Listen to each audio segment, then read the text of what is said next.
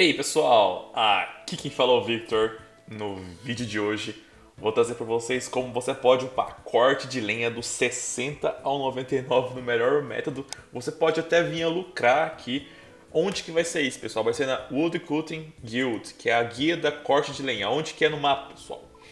É aqui, nessa parte do mapa, vocês podem ver. Tem vários teleportes aqui perto que você pode chegar, house. É, eu tô aqui pelo teleporte do Skill Necklace, Wood Cutting Guild. Se você comprar no GE, tem. E é exclusivo para membros, pessoal. Você entrando aqui, pessoal, você vai ganhar já um, uma boa-vinda, né? E, e, também você vai ganhar um boost invisível de corte de linha de 7 níveis, se eu não me engano. Aqui tem todos os tipos de árvore. Tem desde carvalho, teixo, tem linha mágica, tem bordo, você pode cortar a linha aqui onde você quiser.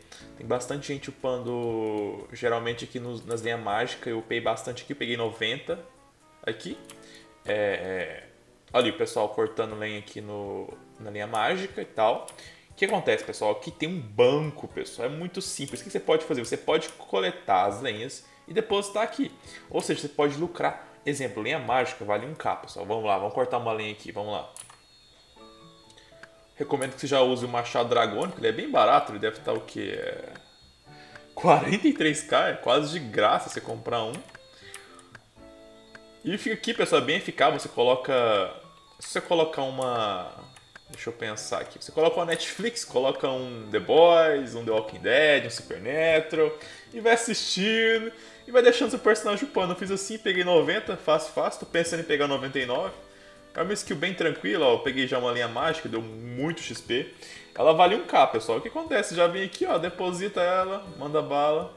Depositou aqui, ó, no, no, no, no box. Tem também, quando você alcançar nível 90, pessoal, tem o método mais eficaz do mundo possível, que é literalmente é quase uma erva daninha lá do, do Runescape 3. Se você ficar aqui, ó, esperando o tempo inteiro. Então, esse foi o vídeo de hoje, pessoal. Espero que vocês tenham gostado do vídeo. Eu tô me ausentando um pouco do canal por causa da faculdade, tá bem foda. Então, esse foi o vídeo de hoje. Deixe seu like, se inscrever para o conteúdo no canal. Espero que vocês tenham gostado e até mais.